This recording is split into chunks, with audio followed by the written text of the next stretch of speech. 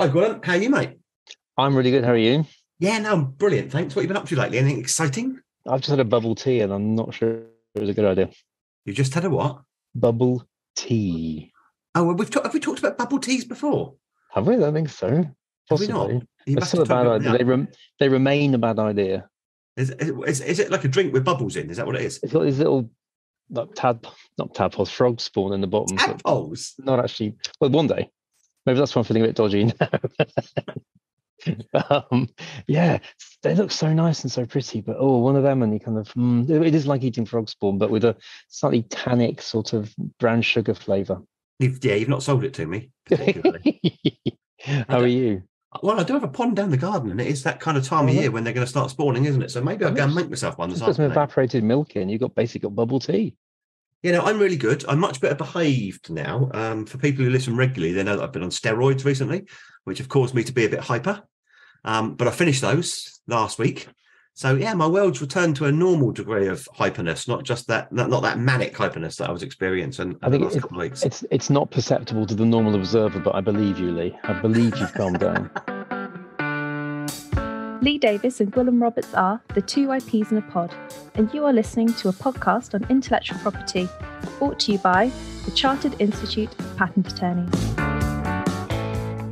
Anyway, we've got a really exciting podcast today. But let me let me before we introduce our guest, see how much you know about the subject. I thought that might be quite an interesting thing to do. So, how much do you know about the Earthshot Prize? Me, I'm pretty sure we did a podcast on it. We did. I know, and I'm just seeing if you can remember what it was all Yeah, about. no, no. Um, David Attenborough um, does a like a, a karaoke act with Prince William at one point. He does, that's right, yeah, yeah. they do. Don't go- don't go breaking my heart. I remember that with Elton John and Kiki Dee back in track. Um, Now, let, let, let, let me on, let me summarise it, shall I, for people who properly. aren't familiar properly. Yeah. Shall I do that? So, Earthshot Prize, you're right. Um, created by um, the Royal Foundation. So, His Royal Highness the Prince of Wales, as he is now, David Attenborough, highly involved. It's awarded each year to five winners for their contributions to environmentalism. It was first awarded in 2021, and it'll run annually until 2030, I think. Each winner gets a million pound grant, so that's um, that's not to be sniffed at. And the um, the awards are presented across five categories. That's um, they're the UN Sustainable Development Goals: the restoration and protection of nature, air cleanliness, ocean revival, waste-free living, and climate action. And guess what, Gwilym? Say what? Go on. Oh, your- oh, defend- what, Lee, what, Lee, what, Lee, what, Lee? Uh, Do you know, what? I think that people might be guessing from the build-up where we're going here. So, uh, CIPA, because in the first year of Earthshot, we gave quite a lot of um, pro bono advice around um, the IP that was underpinning some of the nominations. Um, last year, we were given the opportunity to be a nominator organisation. There's three. There's 349 nominating organisations, and we're we're one of those. So small cog in a very very big machine, and um, and we nominated something like 30 or so nominees for the 2022 Earthshot Prize, and we only went and got three finalists. Three out of 15 finalists were CIPA nominees, and we backed a winner. We Yeah. backed a winner, Notpla. And um, and Pierre is with us today. Pierre, say hello. Hi everyone. How are you doing, How are sir? you? Yeah, I'm feeling uh, very very good because uh, I actually just came back from a whole retreat week organized by the Earthshot Prize. So I'm full of uh, motivation and inspiration, but we'll we'll talk about that later. Yeah. So so let's let's congratulate you first. Well done on the award. Amazing. Um, how did it feel? It was really uh, an incredible moment because actually in the life of startups, there's very few things that are kind of like happening in just an instant. Yeah. Um, you work on like a like a, a- a new kind of like fundraising round, and it takes kind of like months and months. And finally, when you kind of like get the the, the money transferred to the bank account, it's been so long, and and everyone has been working on this for for for for for months that it doesn't feel like that instant moment of uh, of, of success. Uh, whereas awards and grants, they really feel like that. So the moment that we heard on the earpiece, we were like filmed by the BBC, waiting to see our reaction. And when we heard uh, uh, David Beckham say the winner is Notpla, it was like absolutely incredible feeling. Oh, and we, we we couldn't have been more chuffed for you. It was yeah, I had my own little kind of moment. we I think it was on because it was on the telly, wasn't it? Because I actually Yeah. I caught that bit. On, I think I saw it. You you guys were on telly. I think I think I caught that bit. You were all looking extremely cheerful. On that, that no, it was it is exciting. It's so cool. It is so cool, so cool. It's, it's fantastic that you've um, given out your time to come on the pod because you must be such a busy man now.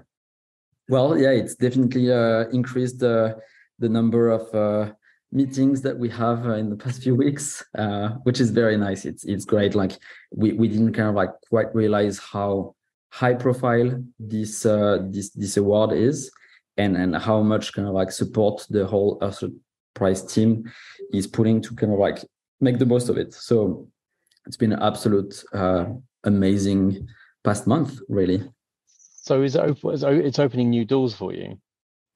massively i think that uh, there's just kind of like layers and layers of things that um, like a, a big prize like that do for uh, an early stage startup but uh, like from commercial traction to investment um, attracting talents uh, getting media coverage all of these things have become increasingly kind of like uh, easy to do so it's great And you, you've got the small problem of what do you spend a million pound on? Exactly right. Um, that's a nice uh, added value. Um, so yeah, there's definitely a, a lot of exciting things happening in 2023 for us. Should we um should we roll it back to the beginning? Should we end up at the Earthshot Prize and talk a little about bit about you and the the kind of the invention and and how you got Sure. to to where you are? Is that is that okay? Uh, I did a little bit of research, obviously, because it's my job to kind of know what I'm talking about. Um, so was it about 2014 you set off on this journey? Is that right? Correct. Uh, just as we graduated from a, a master's at Imperial College and Royal College of Art, where I met my co-founder Rodrigo Garcia Gonzalez. And um, how how did you stumble across the wonderful kind of capabilities of seaweed? I'm a, I should say I'm a sea fisherman. Okay, Mhm. um, I'm a obsessive sea fisherman, and I hate seaweed with a vengeance because of what it does to my line and tackle and so on. So come on, sell, sell me on the amazing benefits of seaweed. So to give it a, a little bit of context, so Notpla, uh, the, the startup that we co-founded back in 2014, uh, we developed sustainable packaging made from seaweed as an alternative to single-use plastics. And we certainly came to realize the value of, uh, of seaweed after quite a lot of like research and exploration. Uh, it isn't a uh, traditional material to start with. Uh, as you said, not many people are naturally drawn to seaweed, um, and it's, it's one of those that uh, we tend to kind of like uh, like not think for um, like the things that they could do, but more of a nuisance on the beach. It's kind of Mm. smelly, uh, as you say, it can like get in your lines.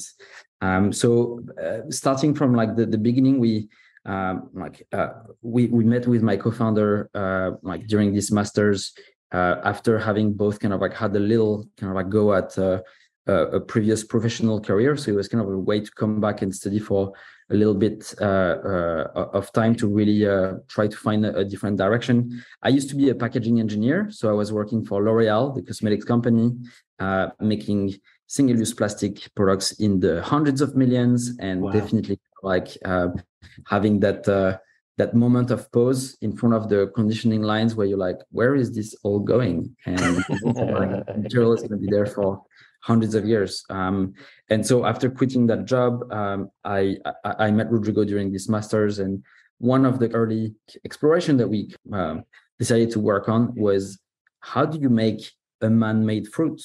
What kind of materials could we use to create packaging that would feel more like something you find in nature than something you find out of a factory? And it was this idea that like if we can create things like fruit, they're gonna feel so much more kind of like in adequation with the rest of nature and um, we started this in our kitchen because we didn't have access to labs or anything that was the safe place to cook up some weird things Wow. and we actually looked at uh, bubble tea uh, tapioca seeds Ah, gelatins uh, I was researching for Pierre. That's what I was doing. really great setup. Um, so uh, all of these kind of like different uh, gums and roots and uh, gelling agents that you can find in plants. Uh, we, we started looking at them, um, and by chance we stumbled upon uh, like a technique called spherification for making fake caviar uh, that was invented in the 1940s by Unilever for making this cheap alternative to the real expensive caviar. And that technology was developed used extensively in, in the food uh, processing world, but nowhere really else than, than, than in that particular application. And the great thing about these uh, like technologies that have been in the public domain for a while is that you can just go and like read the patents and understand what people were using. They give pretty good breakdown of what material they were using.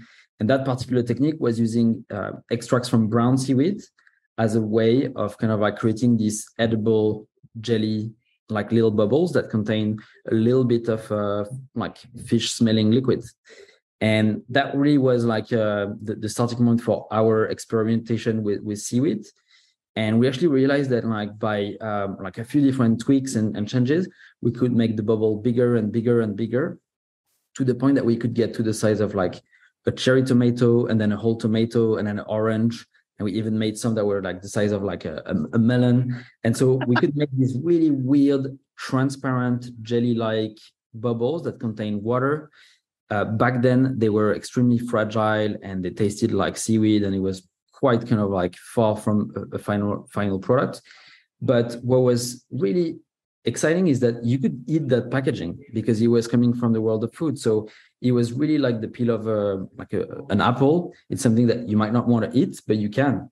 And i think that that was something that was really interesting to us. And we thought well how how could we make this material actually do that that job well? And uh, we had only a month to work on this so it was a relatively short project and we were going to move on to the next thing so we just wrapped it up into a little video that we put online as a little mini tutorial, license it as Creative Commons, and just kind of like let people play with that very rudimentary um, food experiment. And to our surprise, people loved it. There were so many people re- replicating this in their kitchen. We had some videos getting like millions of views, tens of millions of views.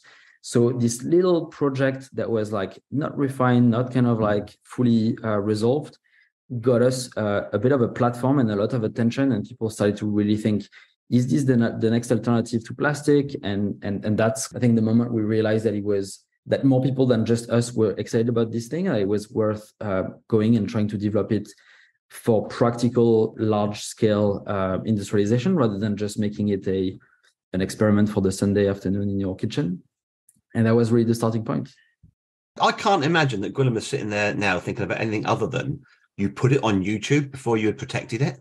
Yeah, and we we licensed it as Creative Commons. Didn't want to say anything.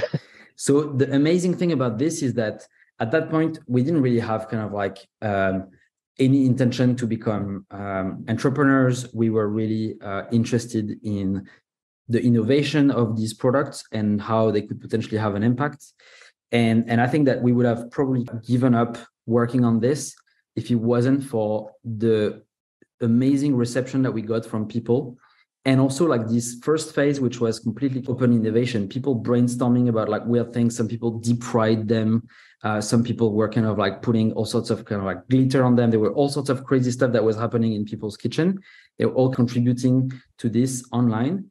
And that was an amazing starting point. And at that point we were um, very happy that people would be able to make this themselves because so many technologies are something that like only happens in a factory of like a very big complex um, industry company.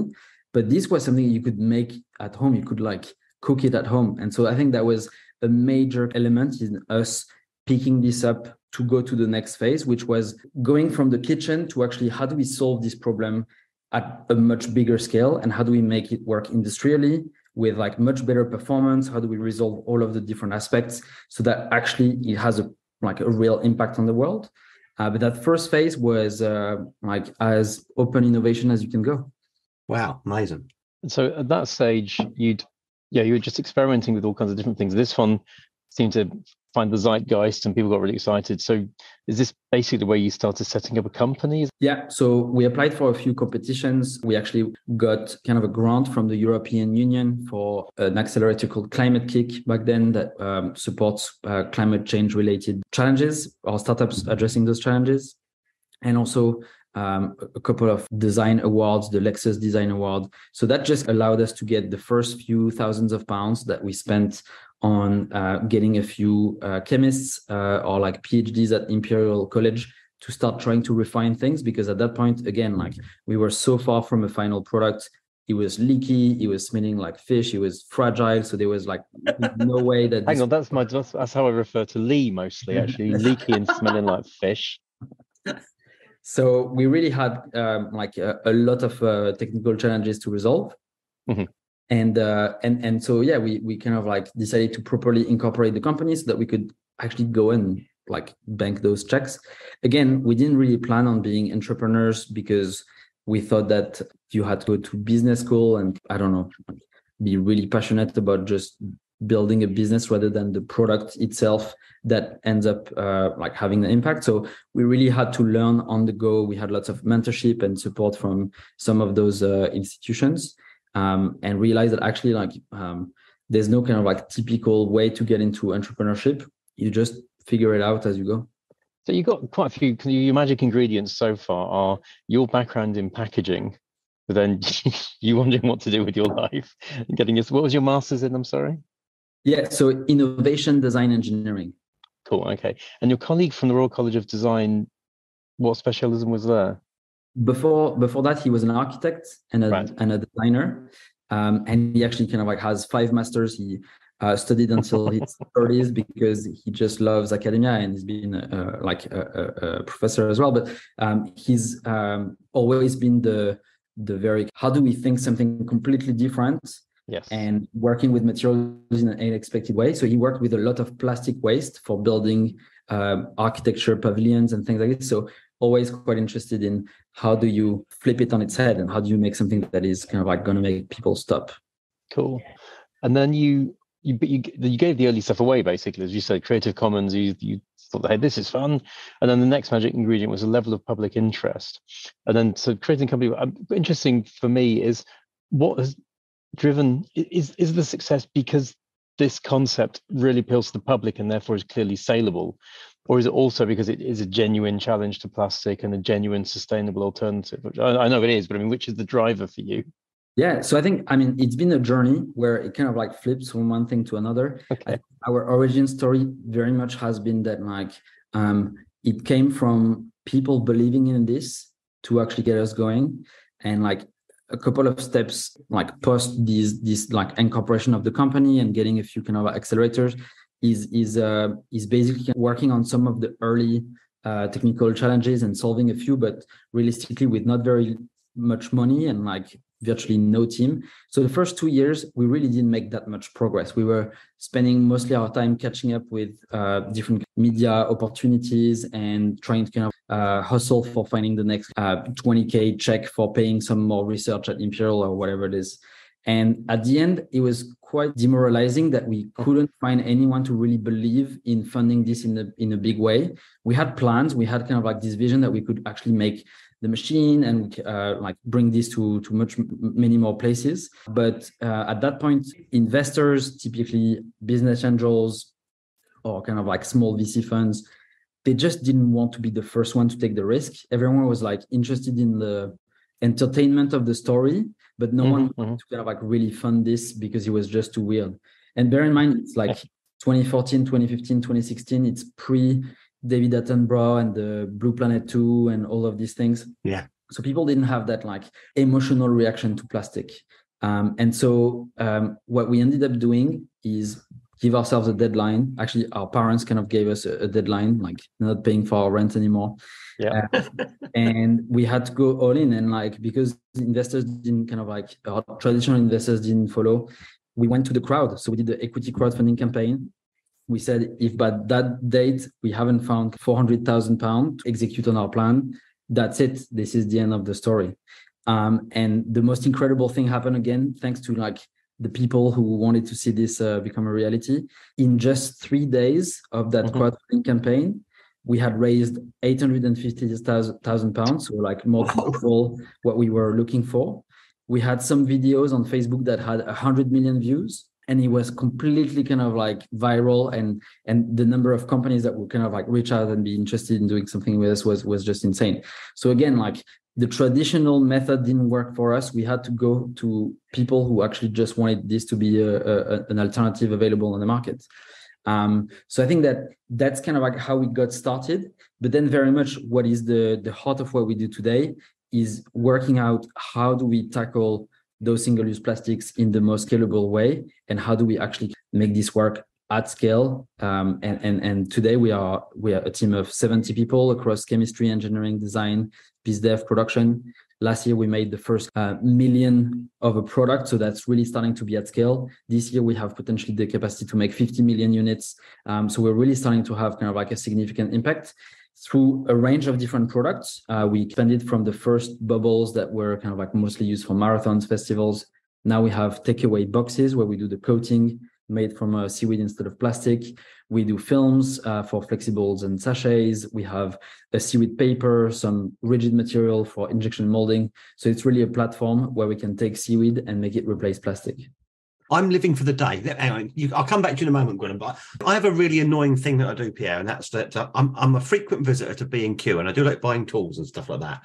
And I get really frustrated that things that are never going to degrade in any way, shape, or form are in plastic. Yeah. So I always take a pair of scissors with me, and I annoy the staff at B and Q by cutting everything out of the plastic and just kind of like leaving it, leaving it there. That's I'm perfect. living for the day Yeah. when I can just eat it in front of them. Yeah. I mean, like we eat fruits all the time. It's not a weird thing. Like uh, if like usually we say if you can eat it, nature can eat it. It's the ultimate proof that it's not some sort of bioplastic that is still making some microplastics, still creating some sort of kind of like end of life problem. So if we use things that truly come from nature, they've been around this environment for a few billion years, you know you're never going to create a long lasting waste. So the go back to magic ingredients. The story is wonderful, and the, story's been such a huge part of it several times, hasn't it? People have been so inspired by the beauty, of the simplicity of the kind of underlying concept. Um, but getting patenty for a minute, because you know we've got to the IP bit of all this. Um, you know, as as you mentioned, you know, you took an you, you've done a few unconventional things. Actually, my first question before I did that is, so your parents are happy now, right? Yes, very. I've been worried about that. Good, good, good. I bet they are. Um, good. That that aside, um, yeah, it's very unusual to to to release something that early stage, but here you kind of got the inspiration. Um, so um, for those listening and you think, oh, well, you give it away, you can't patent it. Presumably, as you've talked about the scalability and all the different products, I'm guessing there's a huge amount of additional patentable work that you're now doing. Correct. And I think this is a bit the like again, like it served our story very well because no one would really take a, a bet on us that early. So we had to kind of like find something that would create a little bit that movement. And for us, it's been the enthusiasm of people. Um, but realistically, around the time um, there was this company Soylent, which I find horrible. I'm French, um, so people having their whole meal as just a drink is very uh, unacceptable. But the amazing thing is that the guys who started this, they basically listed the recipe so that anyone could actually just go and buy the raw, raw ingredients like the magnesium and the protein and whatever it is. But what they offered is like the convenience of a company just making that easy for you and making it like very applicable to your lifestyle. So they literally seeded their own competition, which was amazing because that was a very unconventional type of kind of like food Mm. category. Yes, yes. So being alone is actually a detriment to that. Like you want to be the the biggest of like a group if you want to have like a, a market effect. And so um, I remember like being quite like uh, uh, excited about this idea that um, you need to have um, others kind of like following on those tracks. And also realistically, if you're going to be the first, you're going to get to solve all of the really hard challenges first. And that's that follow on IP is the really hard bit. The starting point is just the starting point. But like the first person who's making a million of those takeaway boxes that we're making now, the number of things that go wrong from the moment that you kind of think, okay, like seaweed and cardboard, and the moment that you've got like truckloads delivering this in like countries around Europe, you've got a ton of things that are not kind of like easy to work out, and you get to solve them first. So if getting to the position of having the cash to be able to have the team to go and kind of like solve those problems, that's worth kind of like the trade. No, of course. And I think um, well, it's it, it's it's well known that um, the moment someone, when the big players see something working, that's when they get involved. They have a look and say, "Oh, look, someone else has, someone else has done all, all the hard work. This works. This has got a market. Let's see what we can do about that as well." Just get, did you say Soylent? Yes, Soylent. That's grim. That was a 1970s film where it's made out of people, wasn't it? I think it's uh like Soylent Green. It's a movie with Charlton Heston. yeah, it, it's like this like protein shake thing for people who want to skip a meal. Uh, yeah, like uh, not my thing, but uh, again, like they they had like a very interesting take on not trying to protect their recipe and just kind of like having it literally as a, a tab on their webpage where you could lit- lit- literally see Hmm. 16% of this, 12% of that. Yeah. A a lot of these models are these are new models now, and they're, they're facilitated by the fact you know you talked about 100 million YouTube views. That wouldn't well, podcasts didn't exist 15 years ago, but if they did, that would have made no sense. Yeah. what, what do you mean? How, how could that help anything? I don't know what you're talking about. So it's funny how people are using you know the new opportunities and new ways of doing things to, to launch businesses in really quite new ways. Yeah. Lee, we need to do a, a plug for the patent attorneys, don't we? We do, yeah, but it'd be unforgivable, wouldn't it, if we didn't mention that? Well, So, let, but let's start by finding out how Pierre went about realizing that he needed a patent attorney. When did that happen? When did you decide actually we've got something here and we do need to apply a bit of protection to it? So I think we quickly realized in the first year really that there was going to be some um, special sauce here, something that was going to be really like technically significant to solve all of those challenges that we were seeing from from the early experiments of the kitchen. And so as we started to get on that path, we realized that it was really good for us to understand how we could create assets that would allow us to fundraise easier investors love patents so it was one of the main driver. Um, and and i think that like it was also knowing what we solve. Um, so knowing what is so special about what we do there's some things that are relatively kind of like patentable others that are better uh, protected as trade secrets. So we needed to have someone to give us a little bit the uh, the rundown of how do you approach defensibility. Um, and so uh, because we had been uh, incubated in imperial college incubator there was definitely a lot of like free support on IP and like one of the IP lawyer uh, there, Jeremy Holmes, uh, who's been very helpful in the early days, gave us a really good kind of understanding of what value we could create if we did things right and how we need people um, that are specialized in this field to kind of like help us navigate this relatively complex space. So um, we've been with a few different kind of like firms over the years, but it's always been quite helpful to have someone that like goes with the general knowledge of what all of this means rather than just a tunnel vision like we have sometimes. It's lovely to hear Jeremy get a shout out. Jeremy is a member of CIPA Council. Okay, well, So, so here we go. so he'll, he'll be really chuffed at the shout out. Um, we should say you're currently with um, Potter Clarkson, I think, is your um, Correct. patent attorney of choice. Uh, Esme, Esme Svendal's there, I think, is the um, the person that's been involved. Um, you don't need to talk. You don't need to talk specifically about the relationship with Pot- Potter Clarkson unless you feel you need to. But um, t- t- so t- tell us why why are you with Potters? What, why are you there? So um, in particularly like uh, uh, like with Esme, I think we we really found finally someone that um, was trying to really like meet us in the middle and try to understand what was happening here. What we do is at the intersection of many different fields. There's like uh, the biology of, of seaweed. There's the chemistry. There is the, the the the manufacturing kind of like technology, the process engineering. All of these things combined, it's sometimes hard to kind of like understand what is going to be best protected with a patent versus best protected by a, trade secret.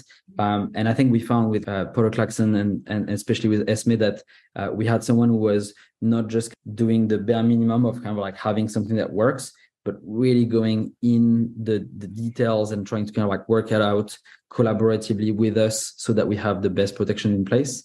Um, and and so we've been extremely happy with um, how we've been able to do more with our IP with with since we work with them, and obviously like uh, that's uh, all culminated with also them being the the initial nominator through uh, CIPA, and uh, so thanks to Esme, uh, we we got a shot at the the Earthshot prize. Amazing. That's a, just a truly amazing story, isn't it? It really is. It is not, actually a little plug for CIPA as well because this is this this this sounds almost destined to win your your concept. Everyone loves it.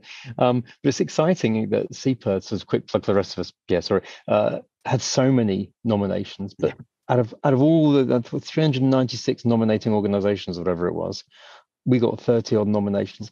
I'm not that surprised though, because of course we have the what's why you do this job. Actually, you have the benefit of seeing these fantastic ideas before anyone else. So we have a proper insight into all of that. Um, but yeah, chuffed that one of the CIPA ones got, it. and also not surprised because of course we tend to be involved in the, the good tech. You know, Earth, That's we're Earthshot, seeing. Earthshot now call us a super nominator, Gwilym. Not not just no, no and not it. just because of volume, but because all of the nominations are top class. And it's and it is because we've got that insight into what's happening in the world of kind of tech and invention at the moment. And here's a plug for the patent system. It's also very good at identifying good technology. Everyone's amazing. This is so good. We should um we should end or work our way towards conscious of time um a little bit about the whole Earthshot experience, if that's okay. Yeah. Sure. But first of all, um, I, this may have been on Twitter. I can't remember where it was. But do I remember you saying that you replaced all of the plastic at, at the Euros, the women's Euros? Was that right? Yeah, so last year has been a really a, year of like first for Notpla because um, some of our products have been on a on a journey of industrialization that is not always hard and, and not always easy and definitely takes time. And so last year was the the year where we started to have like really great progress on making our uh, coating for takeaway boxes for food containers like at restaurants and stadiums and uh, outdoor events and we have a, a long running relationship with Just Eat, uh, takeaway.com. Um, and we're now kind of like uh, in, in Europe in six of their different countries uh, where restaurants can use our boxes. And um, they're also a, like a, a partner of uh, the UEFA and, and uh, the Women's Euro was one of their big, their, their big par- uh, partnership the, of, of last year.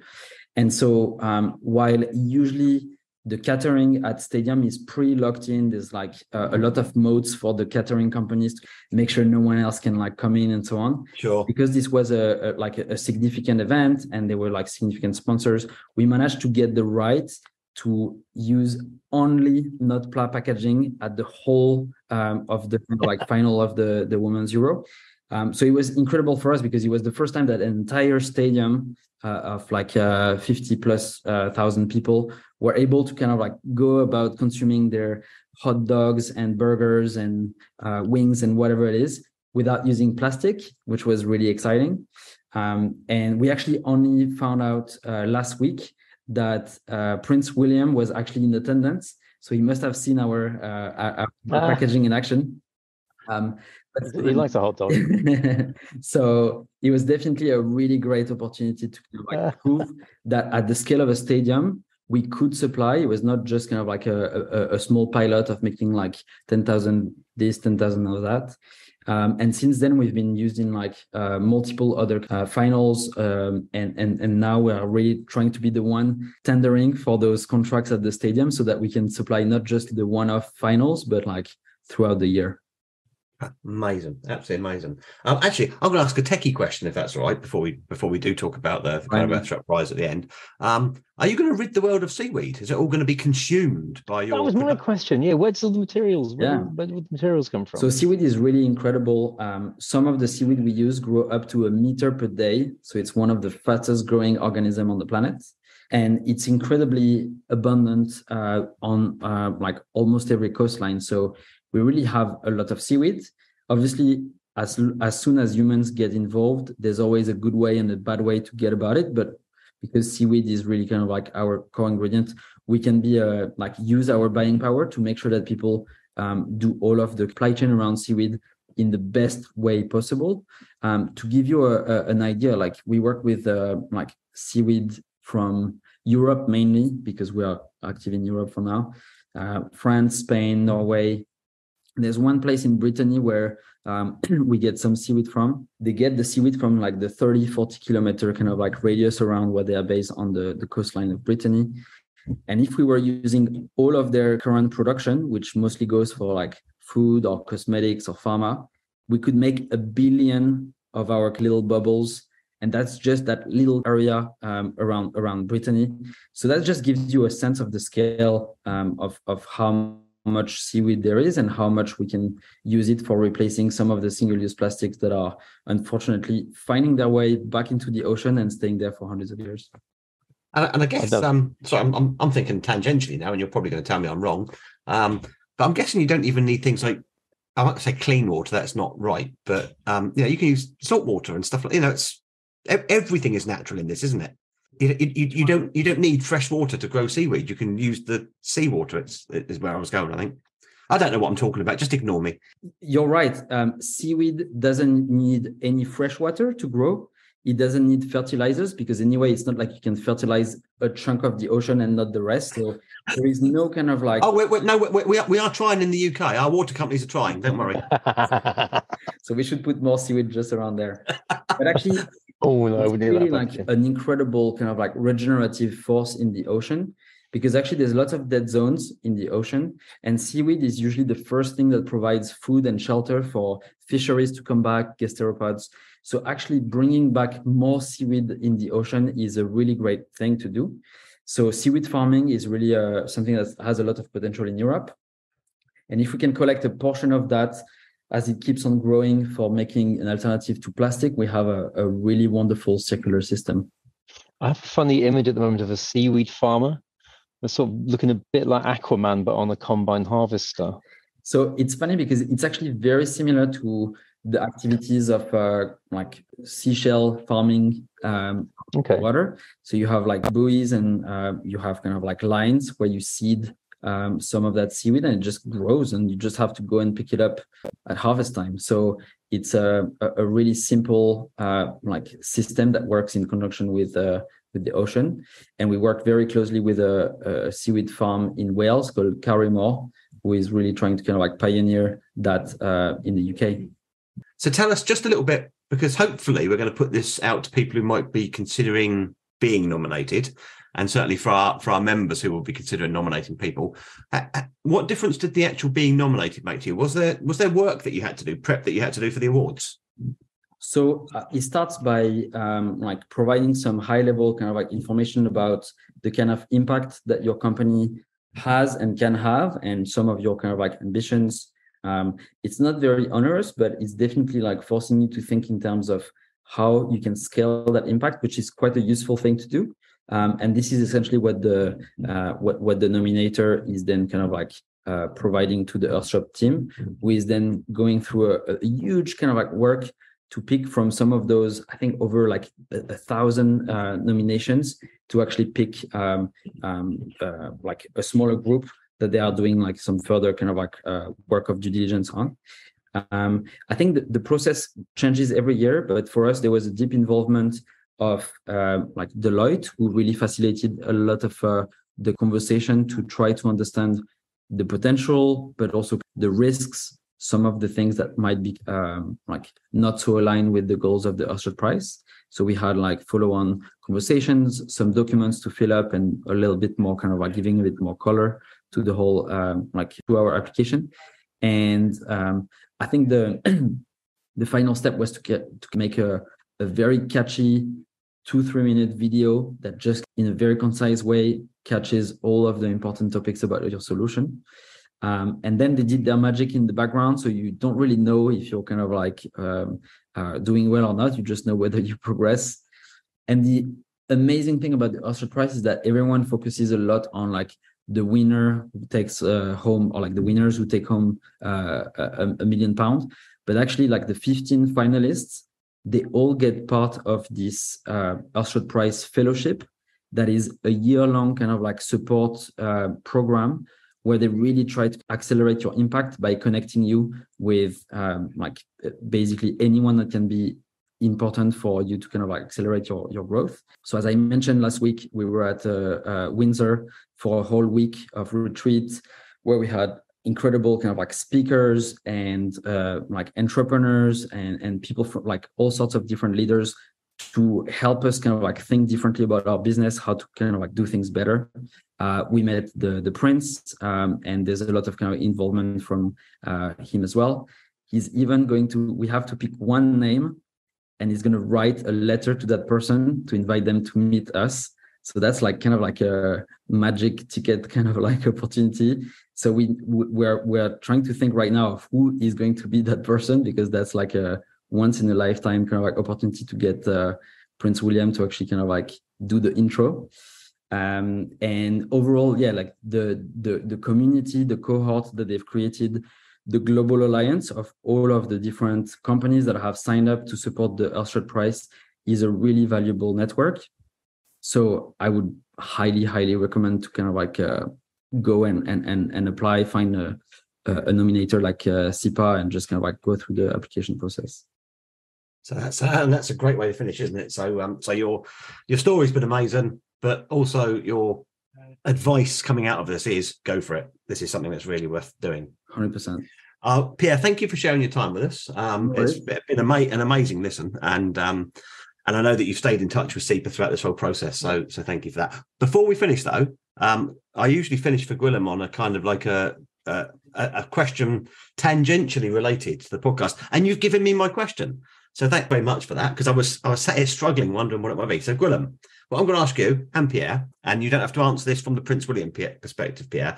If someone influential would write a letter on your behalf to get you to meet someone you've always wanted to meet, who would it be, Gwilym? Who would you? Me, oh, be Mother Teresa, She's dead. Jimi Hendrix. He's dead. Could you could you try and focus on perhaps someone who you might have a chance of meeting? Einstein, he's dead, He's isn't he? dead, yeah. Oh, the good ones. Um, I actually knew you were going to ask this question. well, it was either this or what would you do with a million pounds? And obviously, I'm so, I'm so pounds- predictable. I'm so I know, but just for the record, if it was a million pounds, I'd give it to the Earthshot Prize to help sustainability. Um, uh, somebody, somebody here now. Um, oh, I wish I was thinking harder about this. I think it'd have to be Lady Gaga. Oh wow, cool. Yeah, yeah, yeah. I, I can see the attraction there. You've got, got a similar mindset, same same fashion sense. yeah, Go- I just dress through. I just dress in seaweed, not bacon. Brilliant. Go on, Pierre. Who would yours be? And it doesn't it doesn't need to be in relation to the business. Now. It can be anyone. Anyone. So I mean, like it's really hard because it's a true question for us. So it's not like hypothetical. yeah, yeah, at yeah. Answer it hypothetically somewhere else. Um, so I think the way we're thinking is like, first of all, if there's a, a business that could do something directly now with the products that we have ready. So we are thinking of a few uh, Compass Group, Bunzl, some of the companies that really are big distributors of, of takeaway packaging. Um, there's also like the companies that have in the long run, maybe some of the most strategic uh, input, like a Tetra Pak or Amcor, that would be great. Um, and then there's like the the people who could really influence things. So wouldn't it be great to have kind of like a chat with uh, Barack Obama or Greta or um, uh, Al Gore or someone who is really kind of like regarded as a as as a setting the direction of travel for every for for some of these things. So it's very hard to kind of like land on a name. Um, yeah, have to. yeah. wow, good. Can, can- can I replace Lady Gaga with Barack Obama? That's better. that is better. Lee, go on. Oh, my, my my one's fairly obvious. I, I'm, I'm a lifelong fan of the Smiths, as you know, Gwilym. I never want to meet Morrissey again as long as I live. I've met him once, um, but I would I would dearly love to meet Johnny Marr. There you go. That would be mine, top of my list. nice. Yeah, I'm, I'm a very easily pleased. So, Pierre, thank you so much No for sharing your time and your story with us. It's been absolutely amazing. Gwilym, thanks for pitching up again and making up the numbers. That's always much appreciated. I'll, I'll see you on the next one, mate. Thank you very much. Cheers. Leaky and smells of fish.